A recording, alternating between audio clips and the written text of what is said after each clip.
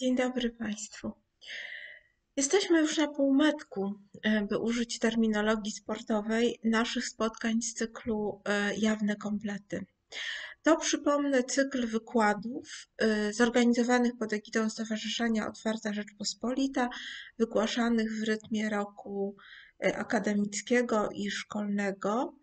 Prelegentami i prelegentkami zgodziły się dla nas być pro bono, co warto zauważyć, e, wybitne osoby, osobowości, na co dzień nauczające literatury na uniwersytetach i w szkołach.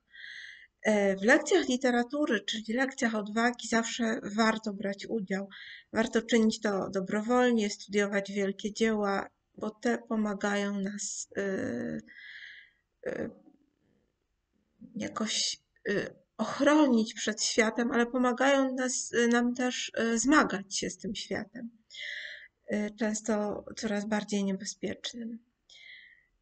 Mm, takim arcydziełem, które zostało nazwane niebezpiecznym arcydziełem, wymagającym interpretacyjnie, przekładowo i mm, bodaj przede wszystkim etycznie, narusza ono bowiem wielowiekowe tabu Europejczyków ich przekonanie o własnej niewinności pozostaje od ponad 100 lat jądro ciemności Józefa Konrada.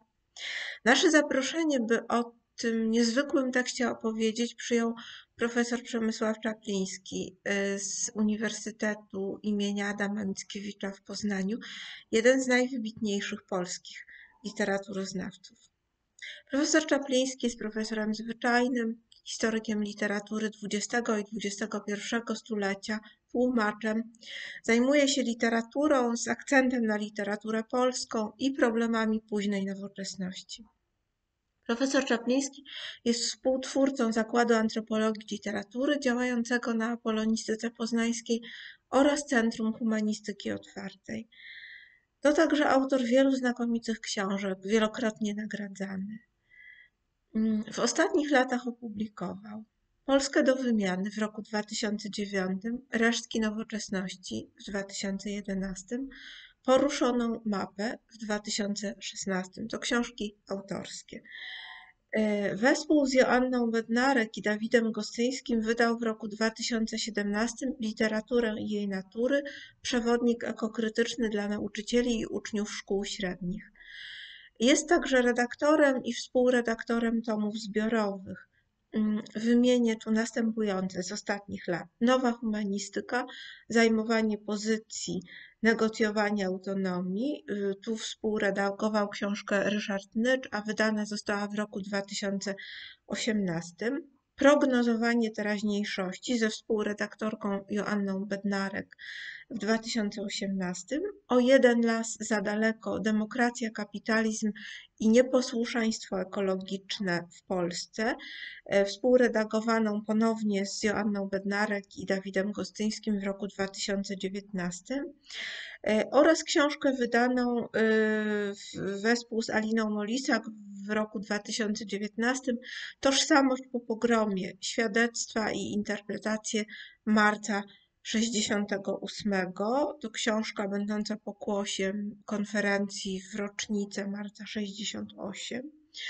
Y, I wreszcie znaki katastrofy, spacje ocalenia o twórczości Zabalda wespół z Katarzyną Kończal. Y, książka współredagowana i wydana w roku 2020. Myślę, że po tym wykładzie jak po pierwszej lekturze jądra ciemności nie będziemy, nie będziemy zapewne już tymi samymi osobami. Serdecznie.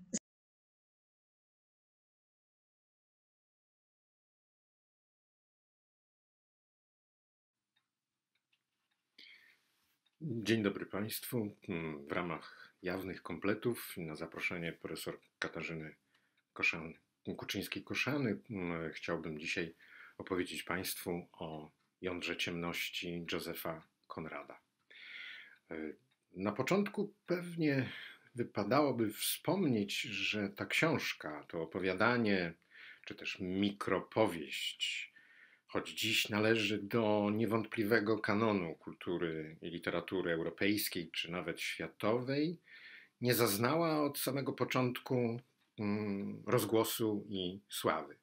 Konrad opublikował ją u schyłku XIX wieku na łamach czasopisma literackiego The Blackwood Magazine, które nie miało zbyt wielu czytelników i w związku z tym nie przyniosło autorowi jeszcze rozgłosu. Tutaj na marginesie można by dodać, że pewnym paradoksem mm, dorobku Konrada jest to, iż y, doczekał się on sławy i mm, pieniędzy dopiero w 1911-12 roku y, po opublikowaniu mm, powieści zatytułowanej Gra losu, e, która dzisiaj należy raczej do utworów zapomnianych. Ten paradoks polegałby więc na tym, że spośród ogromnego dorobku Konrada krótkie opowiadanie e, Jądro Ciemności zapewniło mu obecność mm, w kanonie, natomiast to, co sam Konrad uważał za swoje najwybitniejsze dzieła, dzisiaj bardzo często mm, e, spoczywa już w pewnym archiwum mm, kulturowym. E, oznacza to, że pomiędzy rokiem publikacji a dniem dzisiejszym rozgrywa się pewna bardzo ciekawa historia stopniowego narastania uznania, rozgłosu, zaciekawienia, zainteresowania, czy wreszcie fascynacji opowiadaniem Konrada.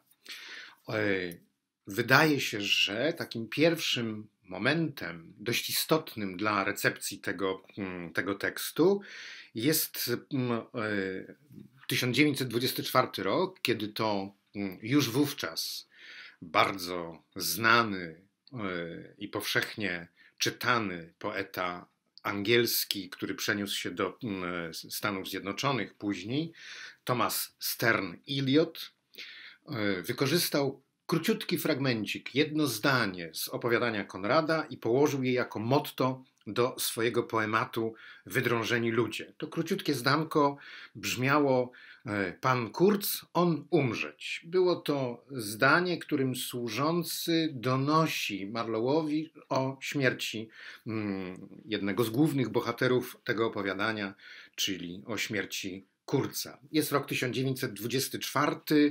Mm, uznanie ze strony samego Eliota, wzięcie tego mm, krótkiego zdania e, zwróciło uwagę czytelników na e, źródło, z którego e, Eliot zaczerpnął, i od tego momentu zaczyna się nieco inna lektura.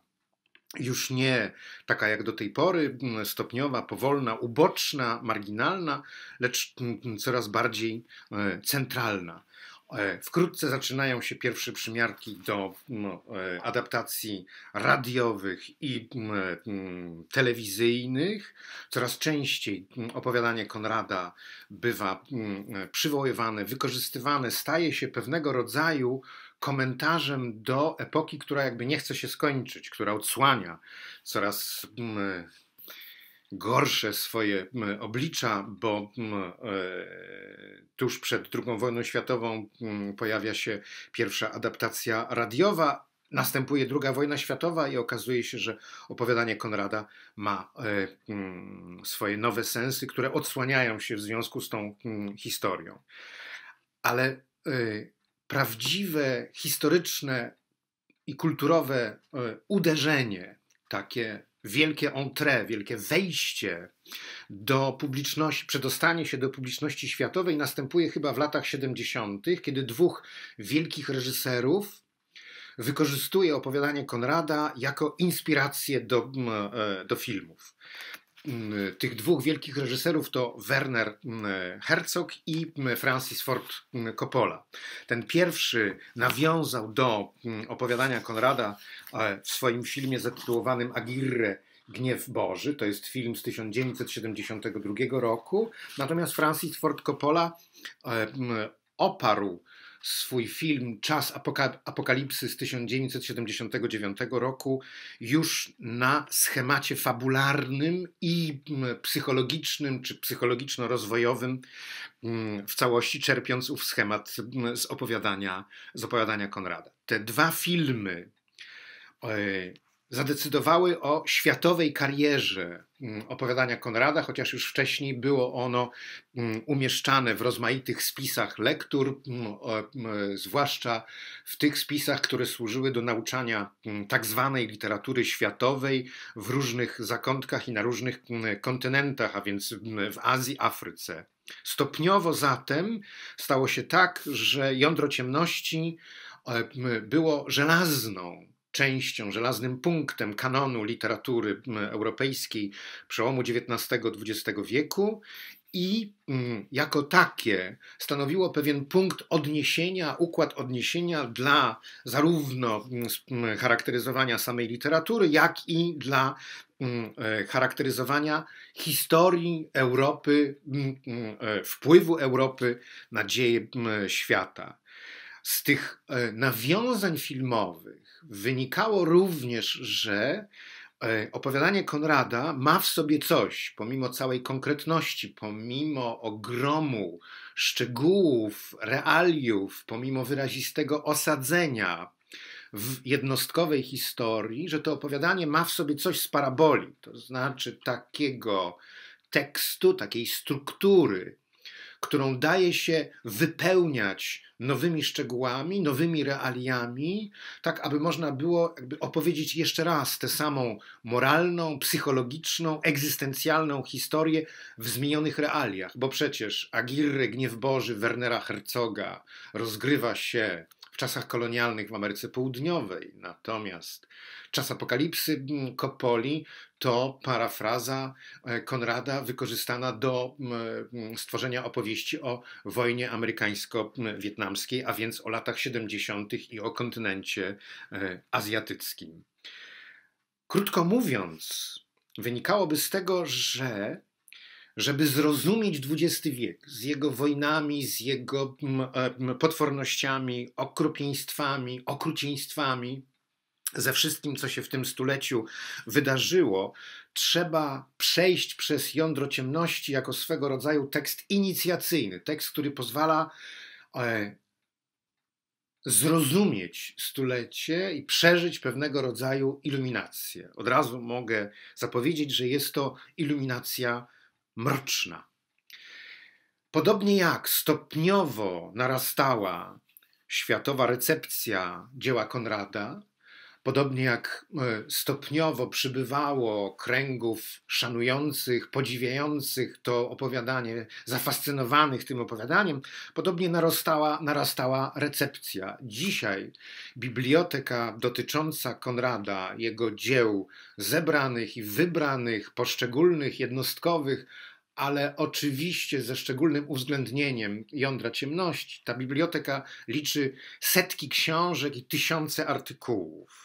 Świadczy to znowu po raz kolejny, podobnie jak te parafrazy filmowe, o niesłychanej podatności prozy Konrada na interpretację. Jeden z e, jego krytyków stwierdził, że Konrad do perfekcji opanował sztukę dodawania wieloznacznych przymiotników do w miarę jednoznacznych rzeczowników. Ta sztuka słowa, na którą Konrad kładł szczególny nacisk, zadecydowała o tym i nadal decyduje o tym, że e, twórczość Konrada i jądro ciemności są w pewnym sensie niewyczerpywalne. Wchodzimy do tego świata, wchodzimy do tej prozy i za każdym razem wychodzimy z innym rezultatem e, i inną interpretacją. Żeby zapanować nad tym bałaganem, żeby mimo wszystko jakoś poprowadzić interpretację w sposób uporządkowany, pozwolę sobie wyróżnić cztery podstawowe wątki. Sądzę, że w ten sposób będzie można jakoś dojść do ładu z całą tą ciemnością, z całą tą mroczną epifanią, mm, którą zawdzięczamy Konradowi. Te cztery wątki to po pierwsze, e, główny narrator Marlow, obserwujący zachowania i postępki Europejczyków w Afryce. Po drugie, drugi wątek to obserwacje dotyczące samych mieszkańców Afryki, a więc tubylców, autochtonów, mm, ku którym Marlow zwraca swoją uwagę wówczas, kiedy nasycił się już obserwacjami dotyczącymi Europejczyków. Wreszcie wątek trzeci to Kurz, a więc obiekt, osoba poszukiwana od pewnego momentu z największym napięciem. I wreszcie wątek czwarty to powrót Marlowa do Europy i jego nowe spojrzenie na kulturę europejską i na nasz mm, kontynent. Zanim jednak przystąpię do omówienia tych mm, wątków w tej właśnie kolejności, zwrócić chciałbym uwagę na rzecz, która w tej chwili nie zajmie zbyt wiele czasu, ale w pewnym momencie e, pod koniec mojej prelekcji może nam się do czegoś przydać. A mianowicie Marlow nie jest głównym narratorem. Marlow zostaje wprowadzony niejako na scenę narracyjną, dopuszczony do głosu przez kogoś innego, kogoś, kto e, nie odsłania się nam w pełni, nie jest nam znany z imienia, ale kogoś, kto wprowadza nas w rzecz. ta rzecz jest bardzo prosta. Grupka przyjaciół spotyka się na jachcie, tym jachtem chcą wypłynąć z ujścia Tamizy na pełne morze, ale ponieważ spóźnili się na przypływ, wobec tego muszą poczekać e, kilka godzin i przez ten czas Marlow będzie snuł swoją, będzie snuł swoją opowieść. Istnieje zatem dwóch narratorów. Tym pierwszym jest właśnie ów bezimienny przyjaciel e, Marlowa, który od czasu do czasu krótko, lakonicznie komentuje samą sztukę narracyjną Marlowa, czyli wypowiada swoje uwagi na temat tego, jak Marlow snuje mm, opowieść. Natomiast tym narratorem, na którego zwracamy uwagę, e, mm, mm, którego najpilniej słuchamy, jest oczywiście sam e, Marlow. Druga uwaga poboczna znacznie istotniejsza, dotyczy związku pomiędzy jądrem ciemności i biografią samego Konrada. Otóż w 1889 roku Konrad po e, wielu staraniach, niewolnych od rozmaitych, od rozmaitych upokorzeń, otrzymał nominację kapitańską na statek Florida. Statek ten miał odbyć rejs badawczy dla prześledzenia biegu rzeki Lomami do pływu Konga. W 1890 roku, w maju, Konrad przybywa zatem na kontynent afrykański, dociera do wybrzeży, schodzi na ląd i razem z 60, ponad 60 osobową ekipą tragarzy wyrusza w długą podróż pieszą to jest podróż, która liczyła 370 kilometrów. E, podróżnicy przebywają tę trasę mniej więcej w ciągu e, miesiąca i kilku dni, przy czym znaczna część tego czasu, e, znaczną część tego czasu spędzili na odpoczynkach, ponieważ wyprawa była niesłychanie uciążliwa. Oto kilka zapisków Konrada z dziennika kongijskiego. Konrad prowadził takie zapiski na co dzień. Dzisiaj z tym dziennikiem można się zapoznać. E, zapiski w gruncie rzeczy są dość monotonne. Konrad odnotowuje przede wszystkim warunki i to, jak on sam się czuje, jak reaguje na owe warunki, a więc potworny upał, duża różnica temperatur pomiędzy dniem i nocą, wysoka wilgotność. Zwraca więc uwagę na własne samopoczucie i na warunki. Oto te e, zapiski. Obóz zły, woda daleko, brudno. Kolejny dzień. Dziś czuję się niedobrze, silny katar, wody mało i zła. Miejsce obozowe brudne. Następny dzień. Miejsce obozowe złe. W kotlinie. Woda bardzo kiepska. Kolejny dzień. Nie ma wody. Nie ma miejsca na obozowisko. Rozbiliśmy obóz na otwartym stoku wzgórza obok błotnistej rzeczki. Brak cienia. Namiot na pochyłości. Słońce pali. Paskudnie. Noc paskudnie zimna. Nie spałem. Moskity. Kolejny dzień. Moskity, żaby. Paskudnie. Kiedy wreszcie Przeprawa piesza się kończy. Konrad odnotowuje w swoim dzienniku: Cieszę się, że ta głupia wędrówka już się kończy. To jest zdumiewające, że ktoś, kto niewiele w gruncie rzeczy poświęcał uwagi światu dookolnemu, koncentrując się na tym, jak się czuje i jak bardzo złe są warunki, później potrafił napisać takie opowiadanie. Tutaj możemy postawić dość ryzykowną hipotezę, która e, zakłada, że w gruncie rzeczy Konrad dużo więcej zapamiętał niż zapisał w swoim dzienniku kongijskim i że kiedy 10 lat później, niecałych 10 lat później, zasiadł do pisania Jądra Ciemności, zaczął sobie tak naprawdę wyjaśniać to, co zobaczył i to, co przeżył. Do dziennika kongijskiego jeszcze w pewnym momencie dość dramatycznym, by nie powiedzieć drastycznym, e, wrócimy. Konrad dalej dociera do e, miejsca umówionej zbiórki. Okazuje się, że na statek nie wsiądzie, bo statek zatonął, w związku z czym odbywa rejs próbny, podczas którego ma się uczyć, jak prowadzić statek na bardzo niebezpiecznej e, rzece Kongo. Kapitanem w ostateczności nie został i po mm, rozlicznych staraniach zrezygnowany, ale także i sfrustrowany, by nie powiedzieć zły, po prostu opuszcza e, kontynent afrykański i wraca, e, i wraca do mm, Europy. Temu doświadczeniu, doświadczeniu afrykańskiemu, e, opowiadanie Jądro Ciemności będzie wiele zawdzięczało, ale jest już jasne, że nie na tym Konrad się będzie skupiał, jak wyglądało prowadzenie statku, ponieważ to akurat mm, w jego biografii zajmuje niewiele miejsca i tak naprawdę się e, mm, nie dopełniło i nie dało mu e, satysfakcji. E, zacznijmy więc od wątku pierwszego, a mianowicie od mm, przybycia Marlowa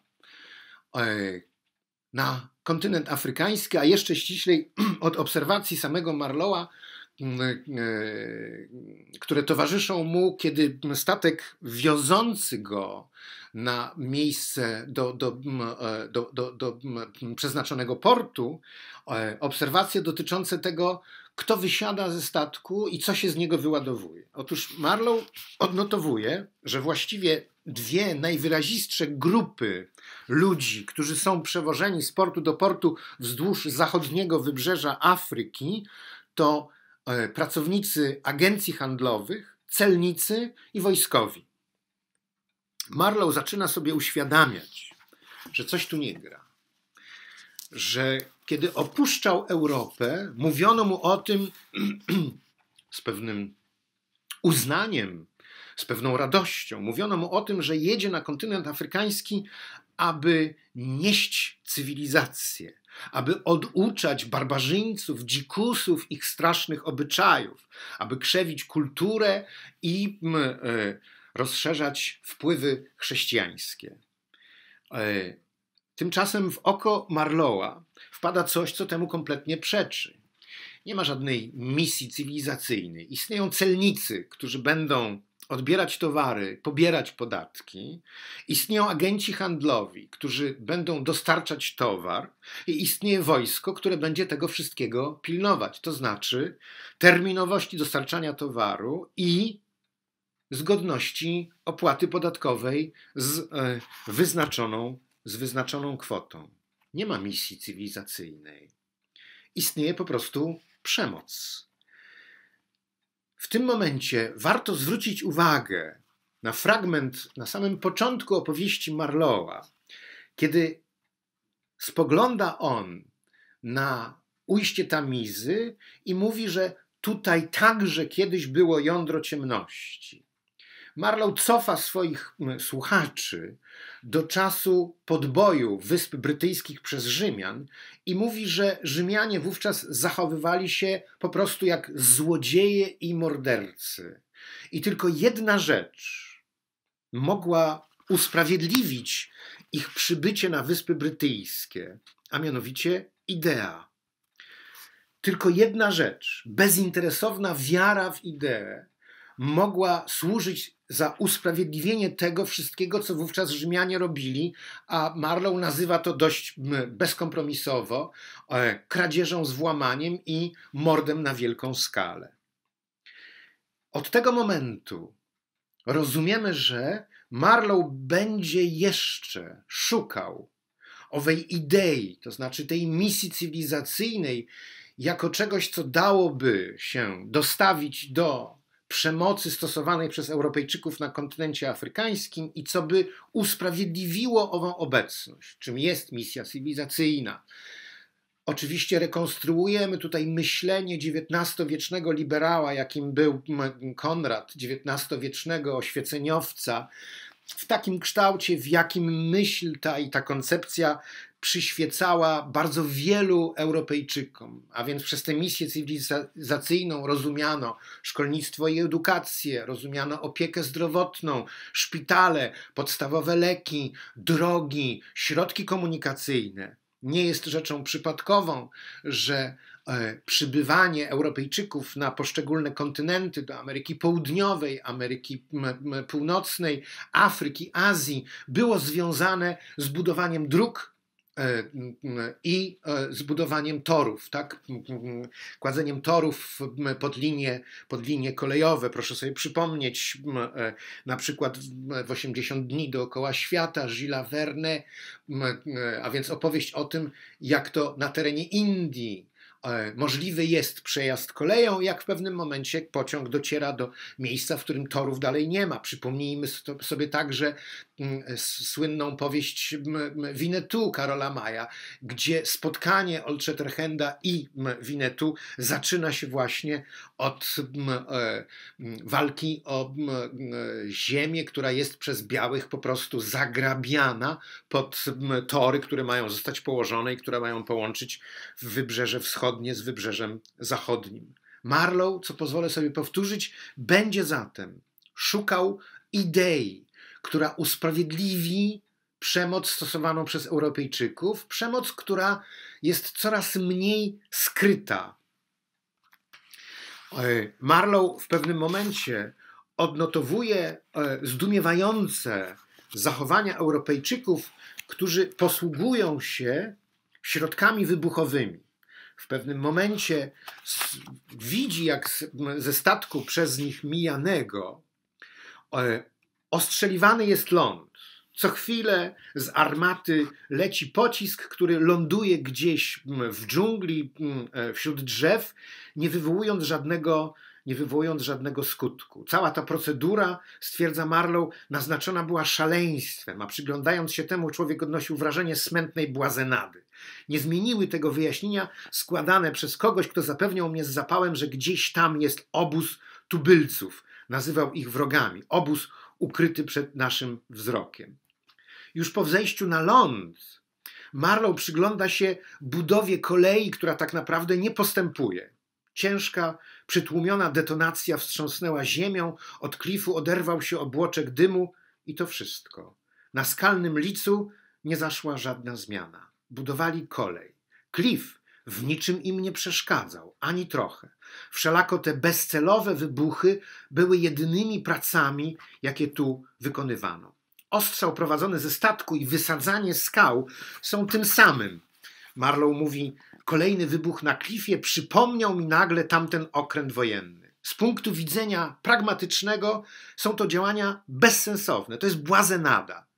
Ale zostaje siła, demonstracja własnej mocy, która występuje w przegraniu, która występuje w przebraniu e, cywilizacji. Nikt przy zdrowych zmysłach, mówi dalej Marlow, nie mógłby nazwać tych ludzi wrogami. Nazywano ich przeto przestępcami, a rozwścieczone prawo dopadło ich niczym wybuchający pocisk, niczym nierozwiązywalna zagadka wprost e, z morza.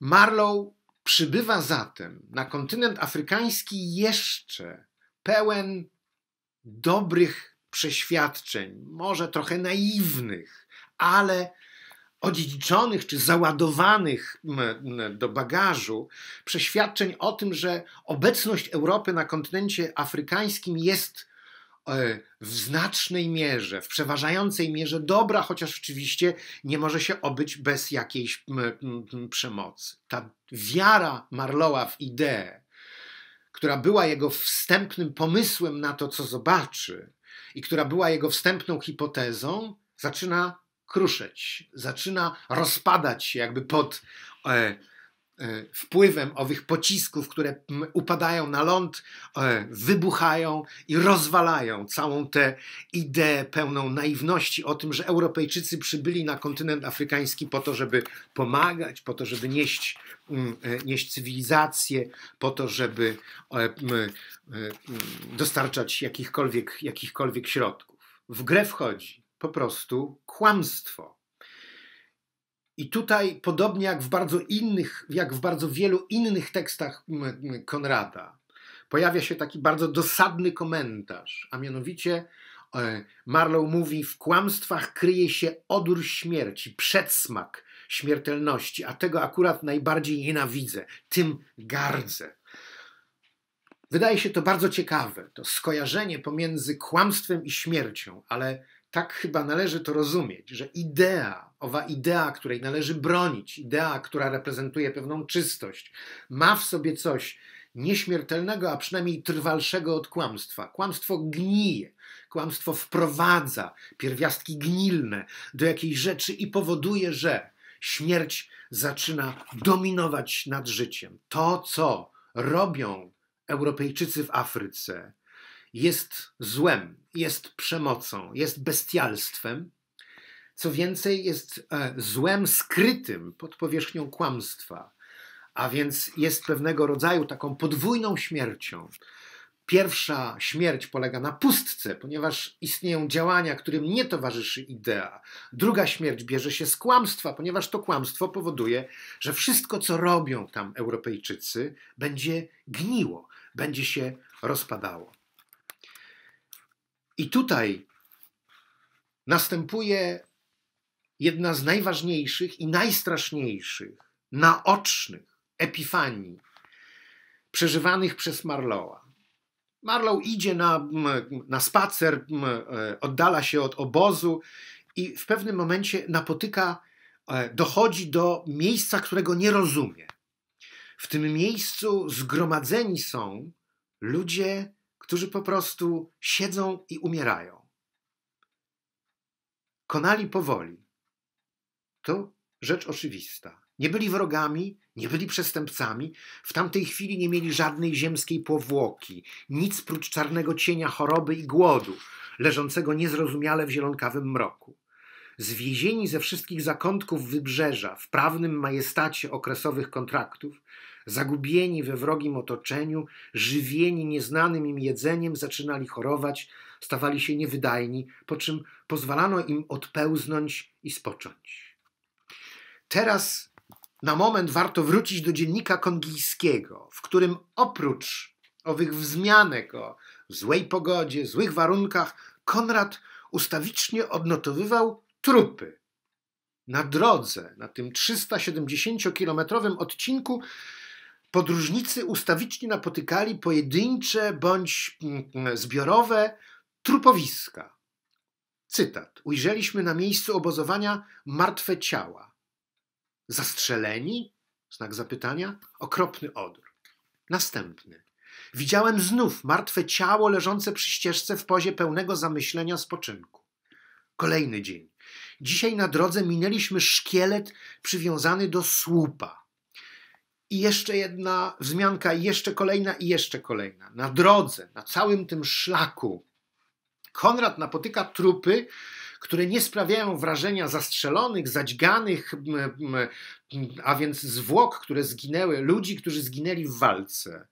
Jakby siedzą na uboczu, tak jakby po prostu w pewnym momencie e, odeszli na stronę, usiedli i zmarli. Dlatego ten znak zapytania przy wstępnym domyśle, czy oni zostali zastrzeleni. Nie. Teraz, podczas pisania jądra ciemności, Konrad zaczyna rozumieć, co zobaczył, a mianowicie zobaczył po prostu umieralnie. Jest to jeden z pierwszych w literaturze światowej opisów zbiorowego stanu zmuzułmanienia, a więc wycieńczenia, fizycznego, od głodu, od nadmiernej pracy, zbyt ciężkiej pracy, od warunków klimatycznych, wycieńczenia, które powoduje, że człowiek stopniowo traci wolę życia i umiera jakby tak, jakby gasło w nim światło. Jest to jeden z pierwszych opisów zmuzułmanienia, których literatura europejska i literatura światowa nie poskąpiła nam w późniejszych dekadach, ponieważ one zaczęły się pojawiać w momencie, kiedy do głosu doszła literatura lagrowa i łagrowa. W obozach sowieckich nazywano tych ludzi dahadiaga, a więc ktoś, kto dochodzi do śmierci, natomiast w obozach koncentracyjnych hitlerowskich nazywano ich właśnie muzelman, tak? a więc muzułman. Nie muzułmanin, tylko, tylko muzułman.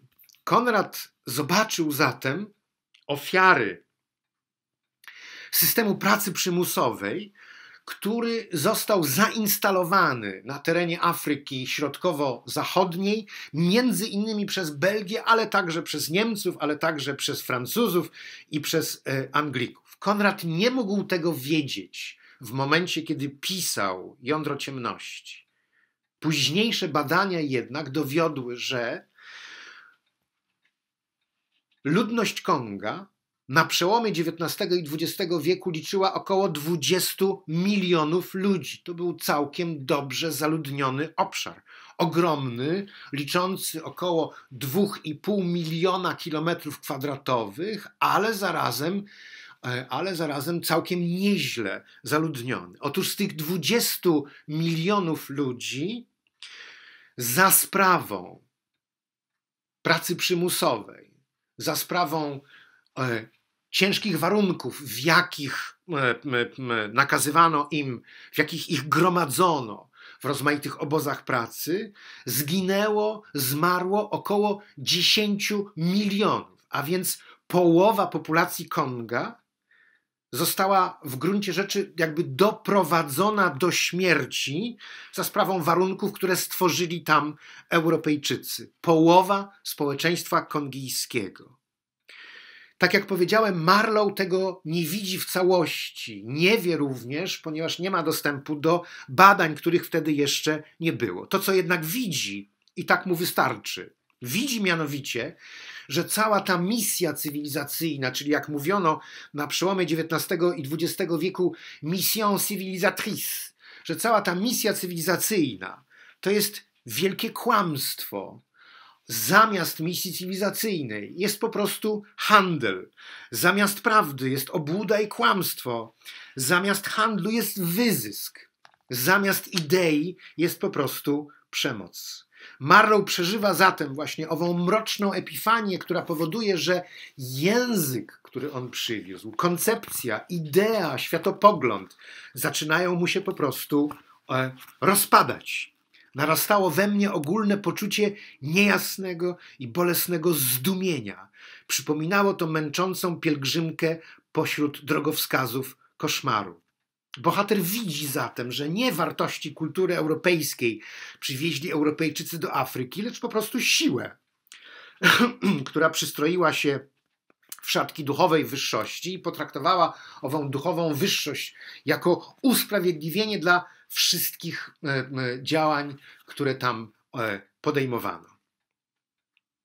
Wątek okrutnej obecności Europejczyków w Afryce powodował, że stopniowo w pierwszej połowie XX wieku, a jeszcze silniej po II wojnie światowej, zaczęto interpretować jądro ciemności jako opowiadanie antykolonialne i antyimperialistyczne.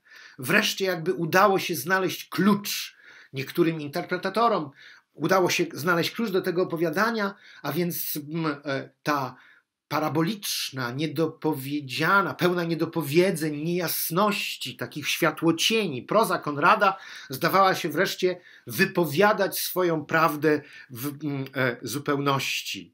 E, była to prawda tekstu literackiego, który oskarżał Europejczyków o zaprowadzenie porządków kolonialnych na kontynencie e, afrykańskim. Stopniowo zatem interpretatorzy e, mówili, że być może Konradowi brakowało określonego, określonego słownika, określonych pojęć, brakowało mu pewnego typu wiedzy dotyczącej ekonomii, dotyczącej, e, dotyczącej narodowości, dotyczącej struktury państwa i plemień, i, i struktury plemiennej, ale nie brakowało mu wrażliwości. Dzięki temu opisał okrucieństwo, tylko nie nazwał tego okrucieństwa kolonializmem bądź imperializmem, a po prostu pisał o tym, że jedni ludzie wyzyskują drugich ludzi. W tę historię stopniowego e, przerabiania Konrada na antykolonialistę i antyimperialistę e, wdarł się jednak tekst interpretacyjny, jeden z najgłośniejszych w historii recepcji e, jądra ciemności. W 1975 roku e, bardzo znany pisarz nigeryjski Chinua Achebe wygłosił podczas konferencji w Amherst College w stanie Massachusetts słynny referat. W referacie tym e, Chinua Achebe stwierdził, że Konrad, Joseph Konrad był rasistą. E, tekst referatu później został przez samego autora e, poszerzony i przekształcony w artykuł. Artykuł ten możemy znaleźć już w tłumaczeniu na język polski. Za chwilę podam źródło. Chinua Achebe pisał tak. Twierdzę, że Konrad był zdeklarowanym rasistą. W krytycznych omówieniach jego dzieł pomija się tę prostą prawdę, ponieważ rasistowski stosunek białego człowieka do Afryki jest czymś tak naturalnym, że jego przejawy pozostają niezauważone. A jednak w świetle interpretacji, którą Chinua Achebe przeprowadza, Postawić należy pytanie, czy utwór opiewający dehumanizację, która depersonalizuje część ludzkiego gatunku, można nazwać wielkim dziełem sztuki. Moja odpowiedź brzmi nie, nie można. Jeszcze raz pozwolę sobie powtórzyć. Autorem tego wystąpienia, najpierw referatu, później artykułu, był Chinua Achebe. Mm, e, tekst nosi tytuł obraz Afryki, rasizm w jądrze ciemności i można ten tekst spotkać we wspaniałej antologii zatytułowanej Sztuka interpretacji w ostatnim półwieczu, wydanej w 2011 roku w Krakowie pod redakcją e, Henryka Markiewicza i Teresy Walas. Był to pewnego rodzaju wstrząs, bo przecież od 45-46 roku a więc od zakończenia wojny i od momentu, kiedy świat zaczynał się wyzwalać spod ucisku kolonialnego, wykorzystywano jądro ciemności Konrada jako naczelny argument przemawiający za tym, że ta wrażliwość, ta umiejętność widzenia krzywd, zła, przemocy, cierpienia, powodowanych przez Europejczyków na rozmaitych kontynentach, że ta wrażliwość już istniała, że istnieli pisarze, którzy potrafili to zobaczyć, potrafili to dostrzec, i tylko właśnie politycy, ekonomiści, e, zarządcy rozmaitych spółek byli na tyle ślepi albo mieli wystarczająco wiele władzy, aby owej wiedzy nie dopuścić do głosu. Tymczasem rok 75 i Chinua Achebe mówi, Konrad był rasistą. Nie należy się obrażać na Chinue Achebe.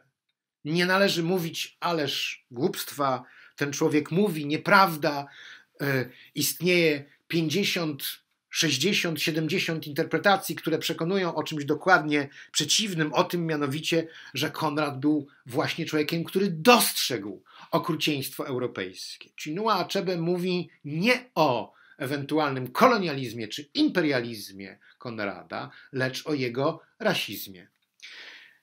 Jak powiedziałem, nie należy się obrażać na nigeryjskiego pisarza, tylko należy po prostu potraktować jego stwierdzenie jako pewnego rodzaju hipotezę. Czyli wracamy teraz do opowiadania i przechodzimy do wątku drugiego, to znaczy do wątku, w którym Marlow zaczyna zwracać większą uwagę, pilniejszą uwagę na Afrykańczyków, a nie na Europejczyków. Będę się posługiwał określeniami, które z punktu widzenia dzisiejszego światopoglądu są już niedopuszczalne, a więc murzyn, a więc, e, a więc czarny, e, Dlaczego? Dlatego, że takie określenia pojawiają się w prozie Konrada, w jego korespondencji, w jego dziennikach i także oczywiście w refleksji europejskiej tamtego czasu. Jeszcze raz pozwolę sobie powtórzyć. Nie obrażamy się na Chinua Achebe, tylko zaczynamy czytać podejrzliwie jeszcze raz, ponieważ oto ktoś powiedział nam, że nie zauważyliśmy czegoś w tym opowiadaniu. Najpierw zwróćmy uwagę na coś, czego jako uczeń e, e, licealny szczerze nie cierpiałem.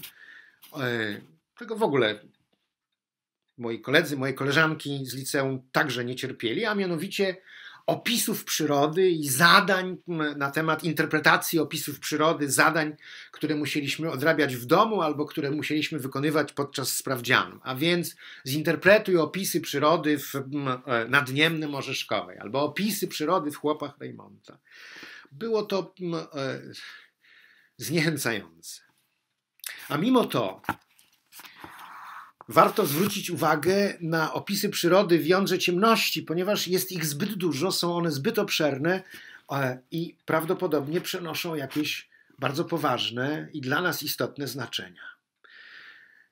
Tych opisów jest rzeczywiście mnóstwo. Powtarza się w nich obrazowanie, które ukazuje tamten świat przyrody jako mroczny, ciemny, nieprzenikniony, gęsty, e, niepodległy, niezależny, groźny, nie dający się łatwo spenetrować, zagrażający człowiekowi, wymaga, zagrażający Europejczykowi, wymagający od niego jakiegoś szczególnego, e, jakiegoś szczególnego trudu, zapowiadający pewną mękę. Po jednej stronie jest zatem Europejczyk, po drugiej stronie ściana. Ściana składająca się z drzew, ściana składająca się z e, e, liści, z, z, buszu, z krzaków, jakiejkolwiek roślinności, albo z rozległości e, rozległych wód. Wszystko to, co Marlow widzi, dowodzi, że jest on nieodrodnym synem czy dziedzicem kultury europejskiej, tutaj można by powiedzieć dziedzicem kultury kartezjańskiej. W koncepcji Kartezjusza człowiek stoi naprzeciwko świata. Człowiek należy do, jest res cogitans, czyli jest rzeczą myślącą, natomiast świat jest rzeczą rozciągłą, res extensa. E, rzeczy rozciągłej nie przysługuje świadomości, natomiast rzecz myśląca może się wyzwolić ze swojej materialności, czyli jakby może, myśl może być e, poza wymiarami. Jest to oczywiście bardzo niebezpieczny pogląd, ponieważ nie tylko wyobcowuje on człowieka ze świata, ale również sprawia, że pomiędzy człowiekiem i przyrodą zaczyna rozciągać się przepaść nie do przebycia.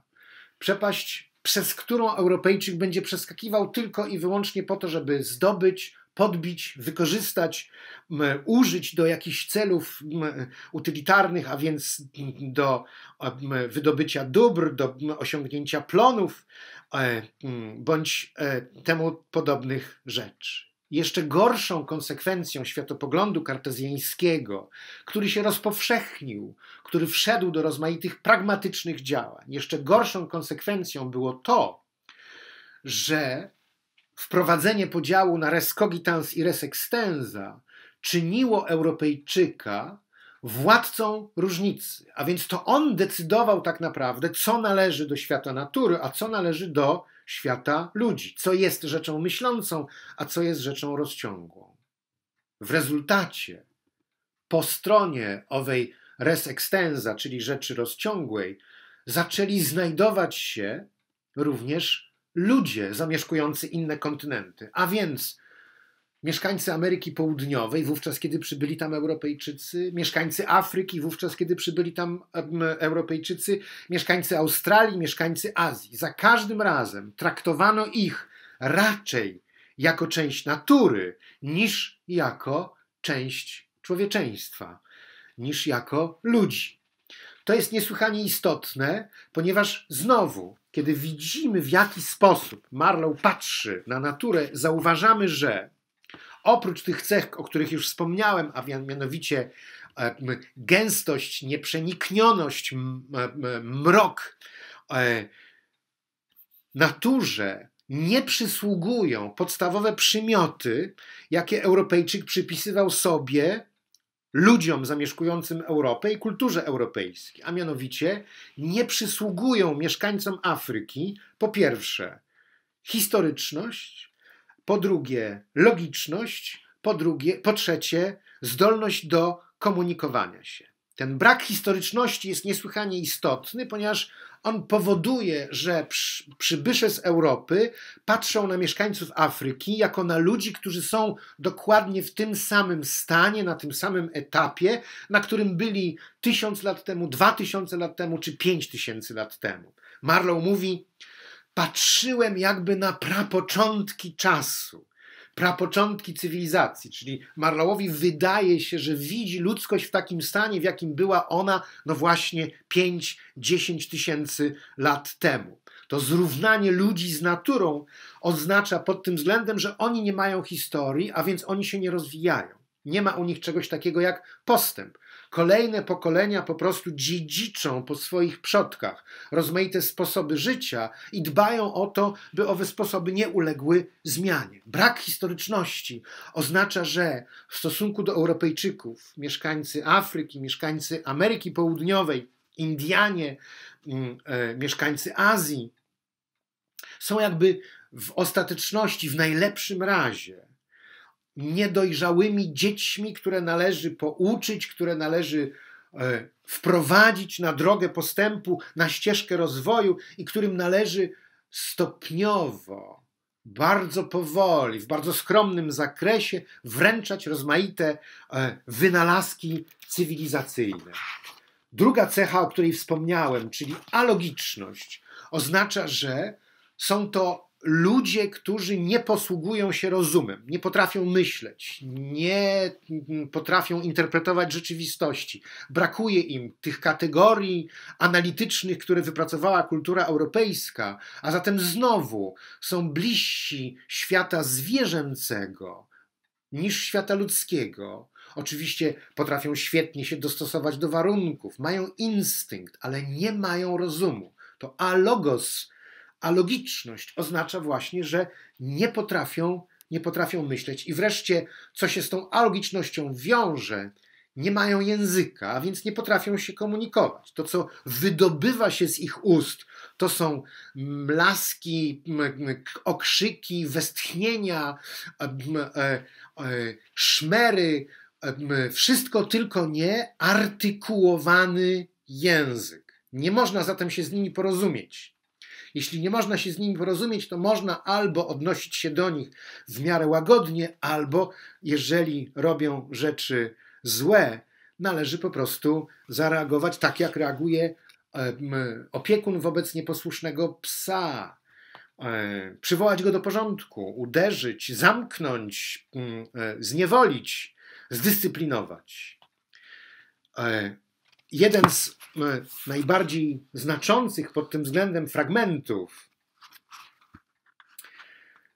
przedstawia właśnie e, tych ludzi jako zbitą masę, e, jako ludzi, którzy zachowują się właśnie w sposób nieracjonalny, trochę tak, jakby, e, jakby Marlow ma takie wrażenie, jakby trafił do domu, do domu wariatów. E, I co również jest bardzo istotne, owo odmówienie historyczności, logiczności, zdolności komunikacyjnych prowadzi do posługiwania się taką figurą uogólnienia. Kiedy Europejczyk patrzy na Afrykańczyków, widzi jakby ludzi, którzy są swoimi klonami. To powoduje, że Europejczyk przyznaje sobie prawo do błyskawicznych uogólnień. Jeśli poznałeś jednego Afrykańczyka, to znaczy, że wiesz, jak oni zachowują się wszyscy. Jeśli wiesz, jak zachowują się wszyscy, to potrafisz przewidzieć zachowanie jednostki. Najniebezpieczniejszą figurą podboju kolonialnego jest w związku z tym synekdocha, czyli owa podwójna figura pars pro toto albo totum proparte, czyli część za całość, bądź całość za część. Europejczyk patrzy na jednego Afrykańczyka i myśli sobie, aha, to oznacza, że oni są właśnie tacy wszyscy. I na odwrót Europejczyk patrzy na tłum i traktuje ten tłum jako ewentualną prefigurację, która pozwala przewidywać e, zachowania, zachowania jednostki. Jest to tłum nieracjonalny, niehistoryczny, niezdolny do komunikowania się, który czeka na swojego starszego opiekuna, mądrego, dysponującego kulturą, wyposażonego w rozmaite środki cywilizacyjne, kogoś, kto wyzwoli Afrykańczyków, dzikusów, prawie zwierzęta, wyzwoli z ich stanu pierwotnego i wprowadzi na ścieżkę rozwoju. Rozwoju, na którym oczywiście nie, za, nie zabraknie religii, nie zabraknie wiary, ale na którym pojawią się również rozmaite cywilizacyjne dobrodziejstwa.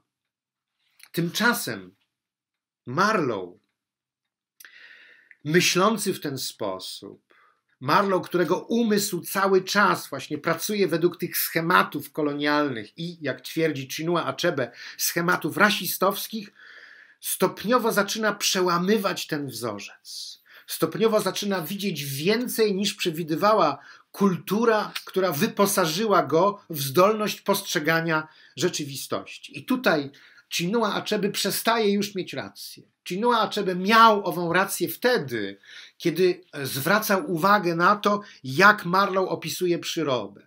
Natomiast nie ma racji wówczas, kiedy przystępujemy do przeanalizowania stosunku Marlowa do pojedynczego człowieka. Tak jak powiedziałem, najniebezpieczniejszą figurą, figurą, która, figurą e, myśli i mowy, która wyrządziła bodaj najwięcej zła, figurą e, retoryczną i poetycką, która jest odpowiedzialna za potworne zbrodnie, jest synek Docha. W tym kontekście można by powiedzieć, że Marlowe stopniowo wyzwala się z tej synegdochy i zaczyna widzieć jednostkę jako jednostkę, pojedynczego człowieka jako indywiduum, a nie właśnie jako reprezentanta pewnej uogólnionej grupy, która zachowuje się tak, jak zachowują się wszyscy czarni, wszyscy murzyni czy wszyscy mieszkańcy e, Afryki. Jest zatem kontakt jeden do jednego. Marlow mówi e, w ten sposób e, o swoim asystencie, o kimś, kogo przyucza do sterowania, sterowania statkiem. E, przyucza kogoś i zaczyna się wytwarzać pomiędzy nimi więź. On dla mnie sterował, ja o niego dbałem. Martwiły mnie jego braki, i w ten sposób powstała subtelna więź, której zdałem sobie sprawę dopiero wówczas, gdy tak gwałtownie ją przerwano. Jest to jedyna ofiara śmiertelna. To człowiek, który zginął od, rażony włócznią. W związku z czym Marlow wspomina go i mówi, że e, spotkanie z kurcem nie było warte tej jednej śmierci. Bliskość i głębia wejrzenia, którym mnie obdarzył, kiedy go raniono, do dziś pozostaje w mej pamięci, niczym głos dalekiego pokrewieństwa potwierdzonego w rozstrzygającej chwili. To jest bardzo ważne zdanie, które mówi, e, które mówi bardzo wiele. Spojrzenie, którym obdarzył umierający Marlowa, jest jak głos. Nie jest ważne zatem, czy ten człowiek mówi w jakimś konkretnym języku zrozumiałym dla Marlowa, czy on w ogóle mówi w jakimś języku. To, to spojrzenie jest jak głos, a więc jest jak wezwanie jest jak pewnego rodzaju interpelacja. Nie trzeba rozumieć języka drugiego człowieka, żeby zobaczyć w nim człowieka. Marlow zatem dokonuje drugiej niesłychanie istotnej rzeczy. Pierwsza, wcześniej przeze mnie omówiona, polegała na stopniowej rozbiórce języka misji cywilizacyjnej. Marlow przywiózł na kontynent afrykański przeświadczenie o tym, że mimo wszystko jednak Europa potrafi, potrafiła ocalić ową ideę, czyli misję cywilizacyjną, a zatem co prawda zawiozła na kontynent afrykański handel i pragnienie zysku, ale równocześnie istnieje szansa, że krzewi się tam cywilizacja. Krok po kroku Marlow odkrywa pustkę całej tej idei cywilizacyjnej i kłamstwo, którym owa pustka została zakryta. Jest tylko przemoc. Jest tylko przemoc i ideologia do tego dorobiona. Ta druga rzecz, która zmienia się w umyśle Marlowa, to jest właśnie wyzwolenie się z synekdochy, czyli zdolność wydobycia się ze stereotypów rasistowskich i dostrzeżenia w pojedynczym człowieku pojedynczego człowieka. Na podobnej zasadzie zaczyna w pewnym momencie Marlow obserwować zachowania już grup. Tych grup, które, grup Afrykańczyków, które z nimi jadą i które z nimi, które z nimi na statku przebywają. I znowu zauważa, że ci ludzie są pracowici. Zauważa zatem, że wykonują swoje, wykonują swoje obowiązki, obowiązki. A w pewnym momencie zaczyna się zastanawiać nad tym, co oni jedzą. Okazuje się bowiem, że na statku e, obowiązują jakby dwie kuchnie, dwa kotły. Z jednego kotła dobrego, lepszego, pożywnego dostają Europejczycy, z drugiego, malutkiego, dostaje, e, jeżeli w ogóle, o wiele liczniejsza załoga, e, załoga Afrykańczyków. Dlaczego zatem ci ludzie nie zbuntowali się przeciwko temu? Dlaczego w pewnym momencie nie rzucili się na kilkuosobową załogę białych, nie odebrali im ich dóbr, ich jedzenia. Otóż e, Marlow odpowiada sobie na to pytanie, decydowała o tym powściągliwość. Użycie tego słowa w prozie Konrada zawsze oznacza coś niesłychanie istotnego. Bo w największym e, uproszczeniu powściągliwość to tyle, co zdolność do powstrzymania swoich pragnień, swoich pożądań, swoich potrzeb i nałożenia im pewnej nieprzekraczalnej reguły. A zatem chciwość Europejczyków jest silniejsza od Europejczyków, którzy nie potrafią się powściągnąć. Natomiast powściągliwość Afrykańczyków jest wystarczająco mocna w nich samych, aby oni, popychani głodem do działań, nie decydowali się na kradzież, napaść czy zabójstwo. Powściągliwość jest cnotą. Odkrycie tych dwóch rzeczy, czyli po pierwsze dostrzeżenie tej jednostki w jednostce, wydobycie się z synekdochy, umiejętność spojrzenia w oczy pojedynczemu Afrykańczykowi i stwierdzenia: no tak, zgadza się, jesteś człowiekiem, oraz dostrzeżenia, że Ci ludzie potrafią pracować, ci ludzie potrafią wykonywać swoje obowiązki i co więcej, zdolni są do powściągania swoich instynktów. Oznacza przełamanie wzorca nie tylko kolonialnego i imperialnego, lecz również rasistowskiego. Dokonuje tutaj tego rozróżnienia, ponieważ kolonializm opiera się przede wszystkim na podboju jakiegoś kraju, jakiegoś obszaru, jakiegoś społeczeństwa w celu sprawowania władzy i czerpania wyzysku, czerpania zysku. Natomiast rasizm, oczywiście bardzo często wspierający kolonializm, oznacza zasadniczy podział ludzkości na rasy i przyporządkowanie owym rasom wartości. Istnieją rasy lepsze i gorsze. W ślad za podziałem rasistowskim idą oczywiście przekonania o tym, kto kim powinien rządzić, a także jakie mamy prawa, będąc reprezentantami rasy wyższej, jakie mamy prawa w stosunku do rasy niższej, co możemy zrobić, co nam wolno, albo nawet co powinniśmy, a także oczywiście, czego nam nie wolno. Rasizm tak naprawdę uznawał tylko jeden zakaz, a mianowicie zakaz mieszania ras. To wszystko, jak powiedziałem, stopniowo ku swojemu własnemu przerażeniu. Marlow stopniowo przezwycięża, powoli wychodzi z tych schematów myślenia, które przywiózł na statku. Nie jest już zatem reprezentantem kolonizatorskiej kultury europejskiej, ponieważ dostrzegł kłamstwo misji cywilizacyjnej. Nie jest jednak już również, wbrew temu, co napisał Chinua Achebe, rasistą, ponieważ przestał myśleć w kategoriach czarne-białe, czarna rasa, biała rasa, zaczął natomiast myśleć w kategoriach innych, a mianowicie człowieczeństwo, pracowitość, powściągliwość, cierpienie. Jeżeli patrzymy na drugą istotę z perspektywy tego, czy można ją zranić, czy można ją skrzywdzić, czy można jej zadać ból, czy ona potrafi cierpieć, to w tym momencie oczywiście kryteria rasowe znikają, bo odpowiedź brzmi tak. Drugiego człowieka, bez względu na to, jaki ma kolor skóry, biały, czerwony, czarny, żółty, można zranić, można mu sprawić ból, można mu wyrządzić krzywdę, można sprawić, że będzie cierpiał. Przeszliśmy zatem dwa wątki. Wątek pierwszy Europejczycy w Afryce. Wątek drugi Afrykańczycy w Afryce, czarni, Marlow wobec mieszkańców Afryki. Wątek trzeci to sam Kurz. Długo, bardzo długo w czasie podróży do Marlowa docierają tylko wieści na temat Kurca, rozmaite informacje. To nadzwyczajna osobistość, mówi ktoś. I dodaje, Kurz odpowiada za faktorię położoną w prawdziwej krainie kości słoniowej. Jeden z dyrektorów agencji mówi, że Kurz jest najlepszym agentem, wyjątkowym człowiekiem, niezwykle ważnym dla kompanii. Kolejny rozmówca aż się zachłystuje. To geniusz, wysłannik miłosierdzia i nauki i postępu i diabli wiedzą czego jeszcze. A zatem to jest ta ostatnia nadzieja Marlowa na pogodzenie owych rzeczy, które zaczęły się kompletnie rozjeżdżać. Idei i przymusu. Cywilizacji z kolonizacją.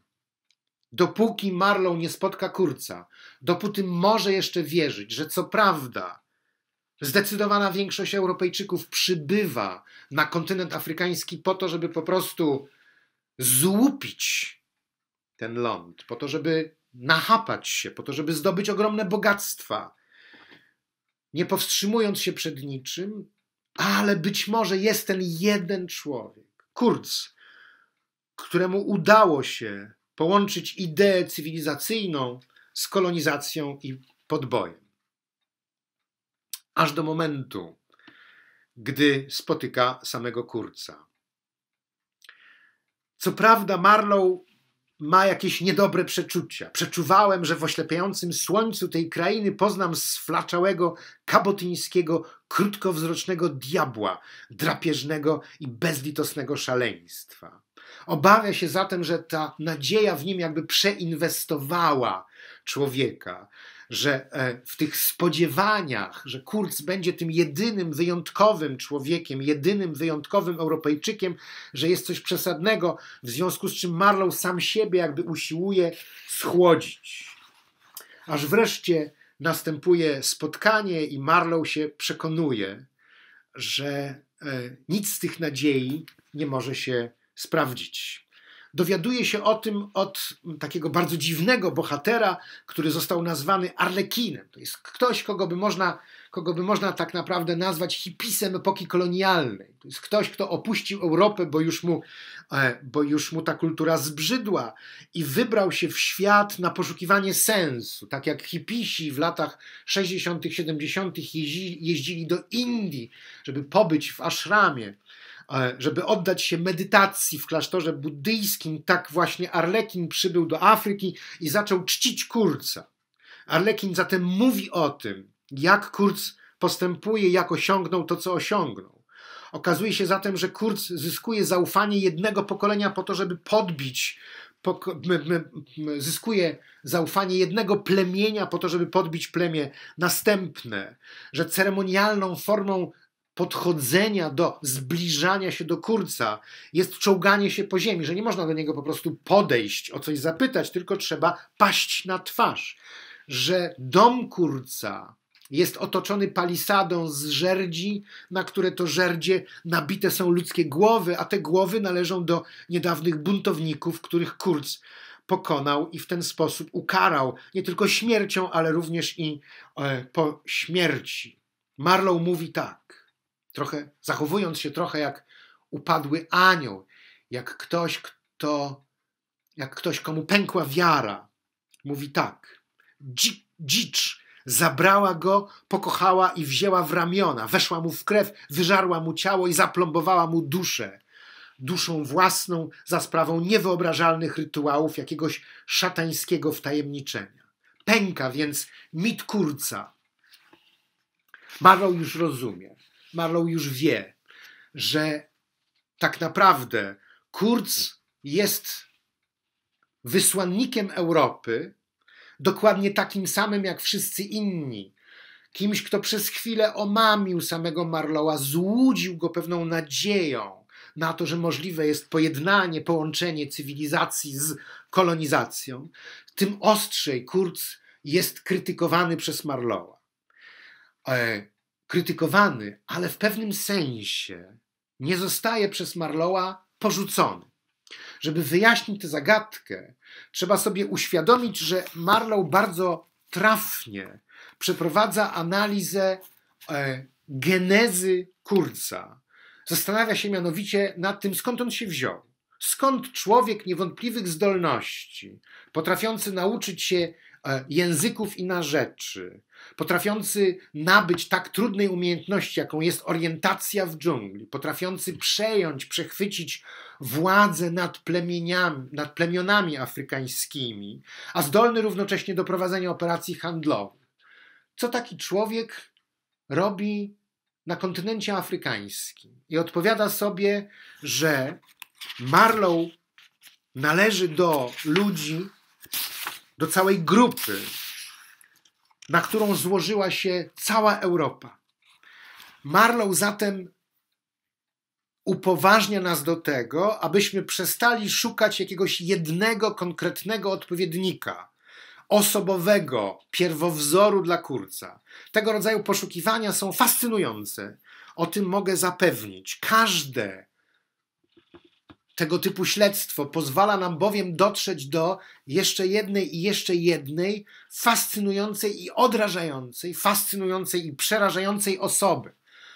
Są to bowiem najczęściej postaci zupełnie niezwykłe.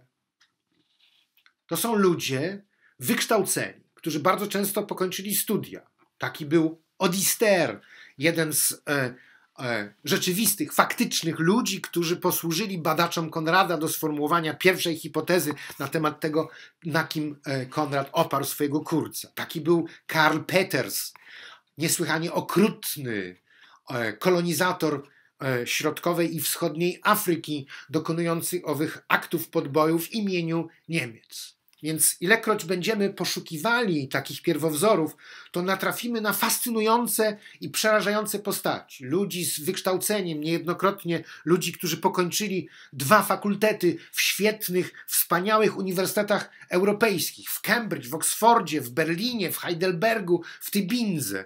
Kończyli zatem wspaniałe uniwersytety, mieli wykształcenie, byli bardzo często poliglotami z, ze zdolnością do uczenia się języków. A równocześnie zauważamy, jak w pewnym momencie Europa zaczyna im nie wystarczać, zaczyna ich nudzić. Dlaczego? Wydaje się, że dlatego, iż Europa na przełomie XIX i XX wieku podlega coraz ściślejszej specjalizacji. Można być zatem świetnym lekarzem, świetnym prawnikiem, można być dyplomatą, można być handlowcem, krawcem, szewcem itd., tak itd. Będzie to zatem wspaniała kariera w określonej dziedzinie. Natomiast w Afryce można było być wszystkim: handlowcem, misjonarzem, lekarzem, tłumaczem, geografem, botanikiem, e, a wreszcie tak jak tego Kurz zapragnął i tak jak wydawało mu się, że osiągnął, można było zostać bóstwem, a więc istotą czczoną przez, e, czczoną przez tubylców natrafiamy tutaj w osobie Kurca na niesłychanie istotny motyw całej twórczości Konrada. Wszyscy ci ludzie, o których wspomniałem, te faktyczne, prawdziwe postaci kultury europejskiej, Odister, Karl Peters, Henry Morton Stanley, czyli słynny dziennikarz, który odnalazł Livingstona podczas długiej wyprawy poszukiwawczej i bardzo wiele innych jeszcze rzeczywistych postaci, które e, wyjechały z Europy do Afryki. Przybywszy na kontynent, stwierdziły, że, jak mówi jeden z e, agentów handlowych, tutaj można wszystko. Rozumiesz? Wszystko. Ten motyw pojawiający się u Konrada związany z owym strasznym zdaniem. Tutaj można wszystko. Rozumiesz? Wszystko. Ten motyw jest e, u Konrada. Występuje u Konrada pod postacią czegoś, co można by nazwać e, próbą bezkarności.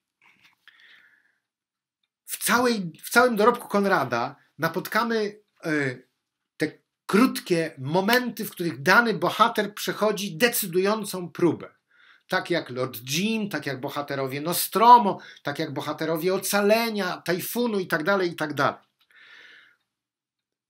Dzięki opowiadaniu Jądro Ciemności zauważamy jednak, że w prozie Konrada istnieje jeszcze coś innego oprócz tej próby podstawowej, jaką jest próba heroizmu. Próba heroizmu jest e, dość prosta, chociaż oczywiście ma swoje bardzo bolesne konsekwencje. Oto moment, w którym musisz potwierdzić prawdziwość swoich przekonań za cenę utraty życia. A więc musisz kogoś uratować, jeśli twierdziłeś wcześniej, że jesteś człowiekiem zdolnym do niesienia pomocy, musisz kogoś uratować i być może sam zginiesz. Musisz e, bronić swoich ideałów, wiary e, i ewentualnie zginąć w imię owych ideałów. To jest próba heroizmu. Wiedz, że zostaniesz sprawdzony i że w momencie owej próby możesz ponieść śmierć. To jest jakby ogień, który sprawdza E, heroizm. Ale w opowiadaniu Jądro Ciemności mamy do czynienia z próbą, którą należy nazwać próbą bezkarności. Co zrobisz, jeśli będzie ci wolno zrobić wszystko? Co zrobisz, jeśli będzie ci wolno wykorzystać innych ludzi do tego, aby dla ciebie pracowali? Co zrobisz, jeśli zabraknie dla nich pożywienia, a nadal będziesz chciał zysków? Czy odmówisz im pokarmu? Co zrobisz, jeśli będziesz mógł zabić człowieka w sposób absolutnie bezkarny? Nikt na to nie zwróci uwagi, nikt nie wyciągnie konsekwencji, nikt cię nie pociągnie do odpowiedzialności. To jest próba bezkarności. W odróżnieniu od próby heroizmu, próba bezkarności odsłania Marlowowi w samym człowieku i Konradowi właśnie owo jądro ciemności, czyli pustkę, do tego bowiem, do tego wniosku Marlow stopniowo dochodzi. W człowieku nie ma nic.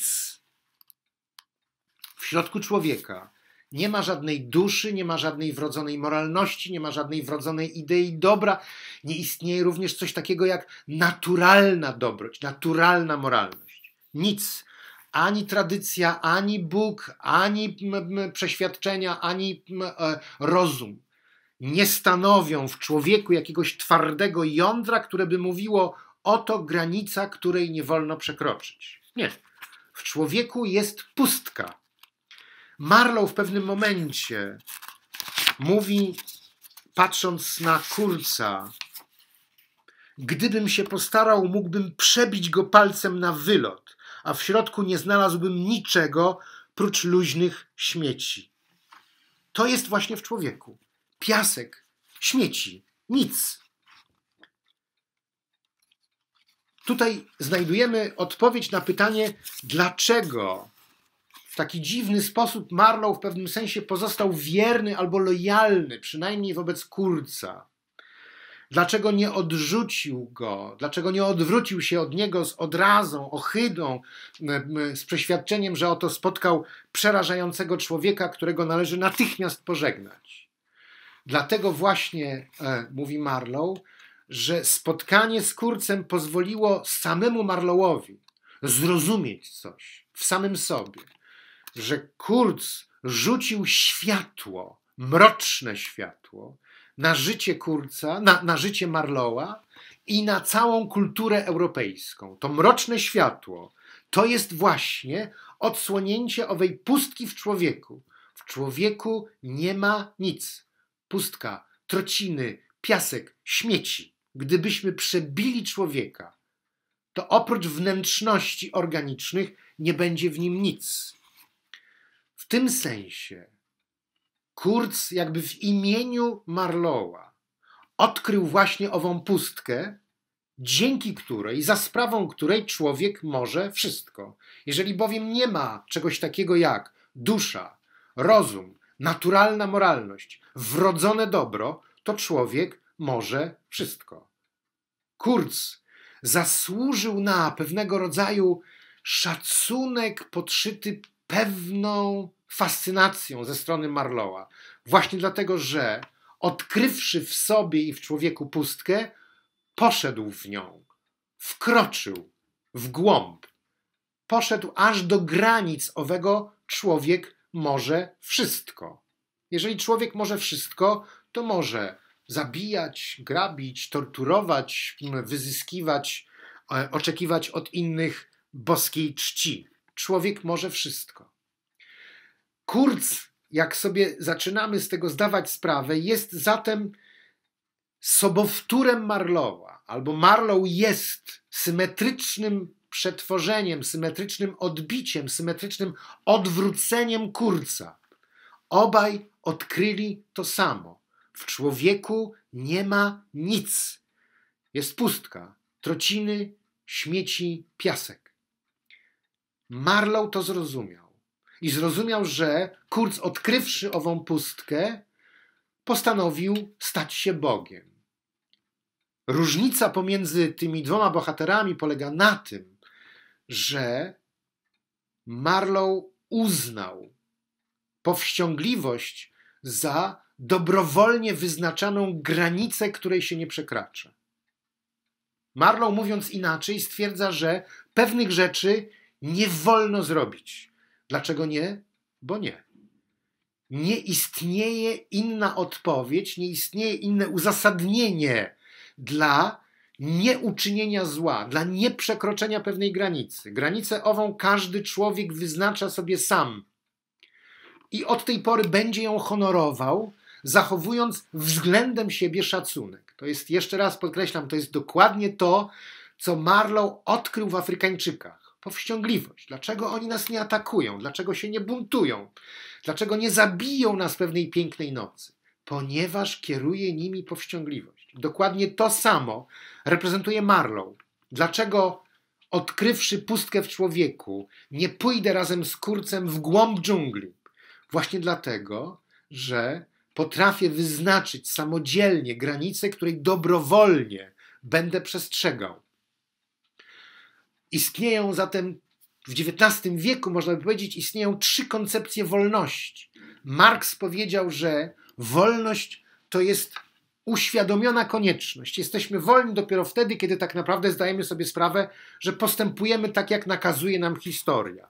Według Freuda wolność to nieuświadomiona konieczność, a więc wolni jesteśmy dopiero wtedy, kiedy uświadamiamy sobie, że cały czas kieruje nami, powoduje nami pewna wewnętrzna, mroczna, podświadoma siła, która jest silniejsza od nas i od naszego rozumu. Nieuświadomiona konieczność tak naprawdę nami kieruje.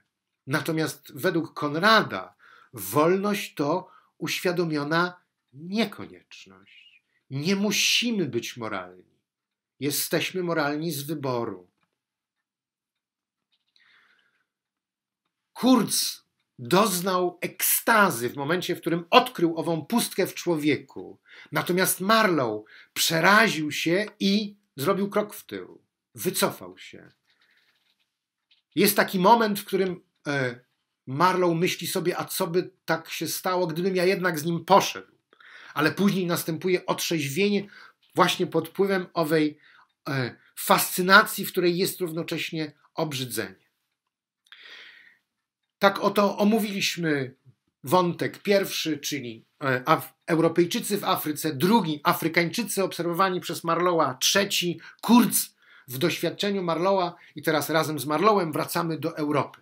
I tutaj pora wrócić do tego pierwotnego, dość istotnego rozróżnienia na dwóch narratorów. Jest narrator, który, e, który mm, słucha Marlowa, mm, który wprowadza nas niejako w opowieść główną oraz sam Marlow. To rozróżnienie będzie nam teraz potrzebne. E, Marlow po powrocie do Europy między innymi spotyka się z narzeczoną Kurca, która e, pyta go, jaki on był. I tutaj Marlow zamiast powiedzieć, spotkałem tak naprawdę człowieka wydrążonego przez pustkę, człowieka, który dał się wciągnąć przez próżnię i który stał się już e, za życia tak naprawdę wcielonym biesem, taką e, egzystencjalną, wydrążoną kukłą. Zamiast tego wszystkiego Marlow mówi do końca, do końca miał panią w pamięci, umarł z pani imieniem na ustach, a więc nie zdradza jakby legendy Kurca. Dlaczego to robi? Otóż wydaje mi się, że po to było rozróżnienie na dwóch narratorów, że Konrad traktuje nas tutaj troszeczkę e, e, protekcjonalnie i mówi w odpowiedzi na moje opowiadanie, a sygnalizuje to właśnie owych dwóch narratorów, możesz się zachować tak jak kobieta, przepraszam bardzo za okrucieństwo tego rozróżnienia, ale tak niestety w opowiadaniu Konrada jest. Możesz się zachować jak kobieta, albo możesz się zachować jak mężczyzna. Nie chodzi przy tym oczywiście o dokładne, nie chodzi o kobietę, lecz kobiecość, o pewne cechy genderowe.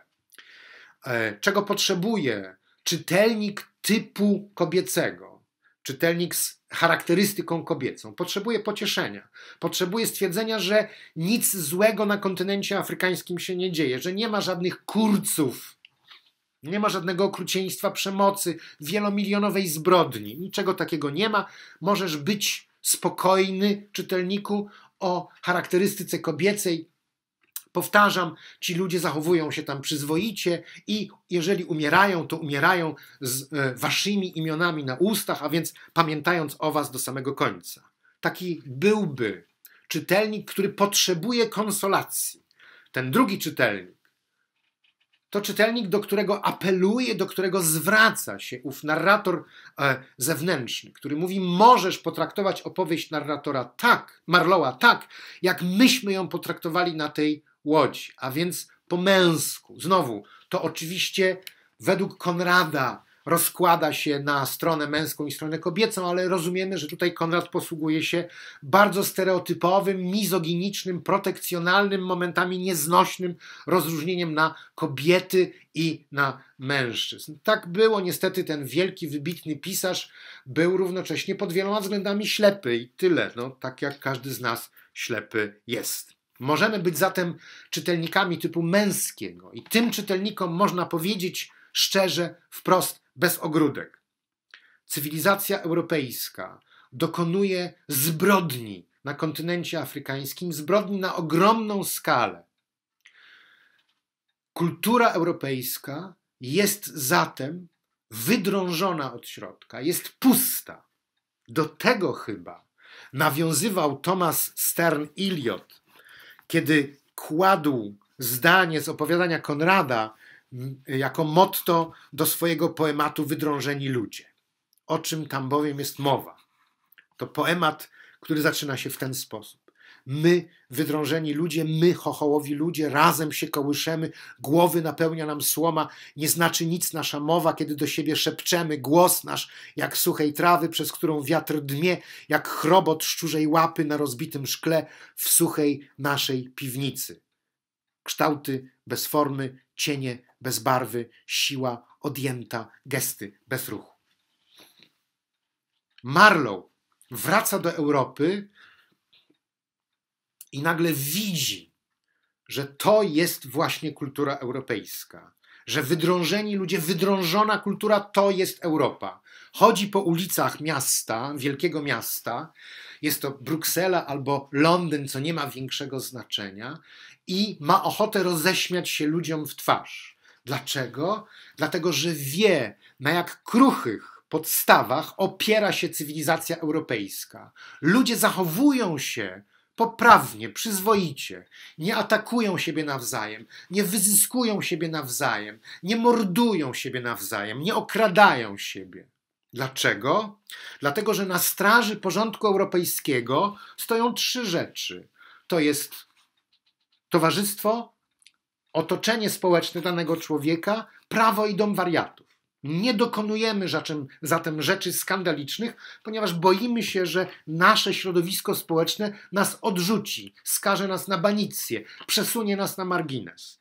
Nie popełniamy przestępstw, ponieważ boimy się sądu i prawa. Wreszcie nie zachowujemy się dziwacznie, ponieważ boimy się, że skierują nas do domu wariatów.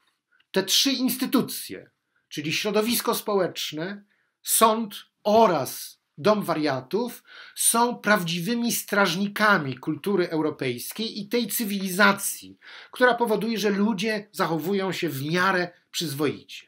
Ale pod spodem tej cywilizacji jest próżnia, jest pustka. Kultura europejska jest wydrążona. Dlatego Marlow ma ochotę roześmiać się ludziom w twarz, ponieważ wie, że oni nie przeszli tej próby. Tej próby, która może przybrać postać e, testu heroizmu, sprawdzianu heroizmu, ale która w Afryce przybiera postać testu sprawdzianu próby bezkarności. Miarą człowieczeństwa każdego z nas, według Konrada, jest dostrzeżenie tego, że mamy w sobie pustkę i że pod naszymi stopami także rozciąga się próżnia, a zarazem miarą owego człowieczeństwa będzie, że dostrzegłszy to, będziemy potrafili wyznaczyć sobie samym pewną nieprzekraczalną linię, czyli ustalić regułę powściągliwości. Żeby jednak ową linię w samym sobie odkryć, trzeba dotrzeć do jądra ciemności w samym sobie, czyli do pustki. I to chyba było na tyle. Bardzo Państwu dziękuję. Do zobaczenia na kolejnych wykładach.